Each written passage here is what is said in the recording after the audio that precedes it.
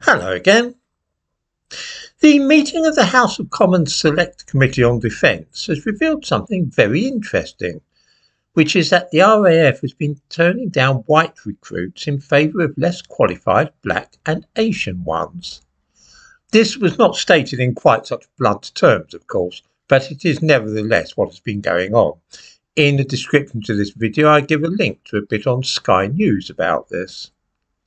This ties in with what was said last week by a member of Her Majesty's Inspectorate of Constabulary, which was that illiterate and poorly educated recruits have been accepted into the police purely because of the colour of their skin.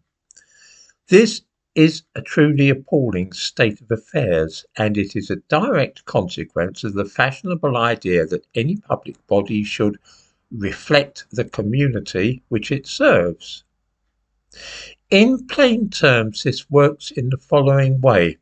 Since around 15% of the people in Britain are not white, this means that you want to ensure that 15% of your police officers, RAF pilots, firefighters, and so on are also black and Asian. Of course, the disadvantages of such a scheme will be immediately apparent to most normal people.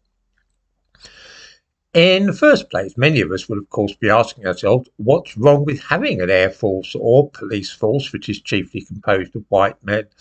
The RAF seemed to manage well enough during the Battle of Britain, didn't they? Here is a specific difficulty with recruiting black people and avoiding white ones when it comes to the RAF, which is currently in the news for this very thing. When recruiting for posts such as gunners, a standard aptitude test is given for spatial awareness, that is to say, being able to work out where things are in three dimensional space. Very important if you want to be a gunner, of course. It makes sure that you hit the right target. The results of these aptitude tests for the RAF between 2015 and 2020 yielded the following average scores those of any Chinese background, 60.1. White British, 55.4. Asian Indian, 50.1. Black African, 40.6. Black Caribbean, 44.0. And in the description to this video, I give a link to a news item about this from a couple of years ago, which reported these figures. Does anybody see the nature of the problem here?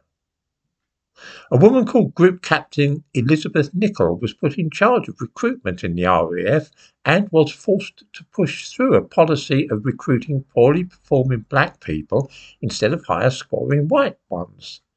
She resigned in protest, having uncovered over a hundred cases where white people had been rejected with higher scores so that a black person could be recruited instead because it looked good in photographs.